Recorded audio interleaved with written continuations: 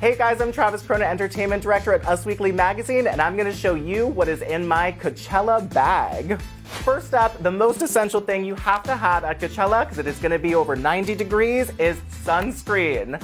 Now, celebrities like Ariana Grande love Supergoop sunscreen and comes with a powder brush applicator so you can retouch your sunscreen without messing up your festival makeup.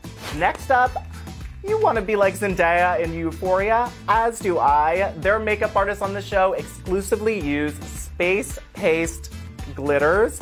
Now, these glitters are great because they are biodegradable, eco friendly, so you can feel like a good person while putting glitter on your face.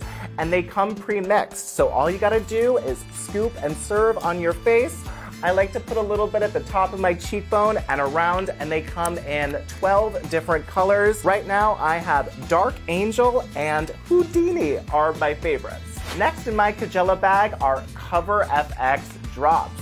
Now, if you want to have a little shimmer and shine, but you don't want to do full glitter, this is sort of the sophisticated glitter you can do.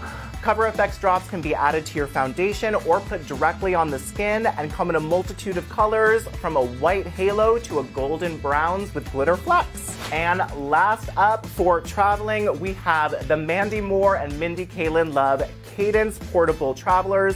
Now, these are for your makeup, your sunscreen, your jewelry. They are TSA approved and come in a little magnet thing.